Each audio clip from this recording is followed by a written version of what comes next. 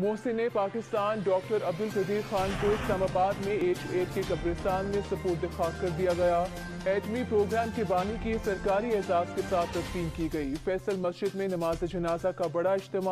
बारिश के बावजूद शिरकत के लिए अवाम का हजूम उमट आया। नमाज़ जनाजा प्रोफेसर डॉक्टर अहमद अल ने पढ़ाई, जिससे खाकी कौमी परचम में लपेटा गया। काबीना अरकान अरकान पार्लियामेंट, आला सिविल और अस्करी हुकाम और शहरियों ने बड़ी तादाद में शिरकत की। डॉक्टर अब्दुल कदीर खान आज सुबह हालत हकीकी से जा मिले, वो कुछ अर्सा पहले कोरोना में मुब्तला हुए थे। उन्हें आज सुबह तबीयत बिगड़ने पर अस्पताल मुंतकिल किया गया, लेकिन वो जाम न हो सके।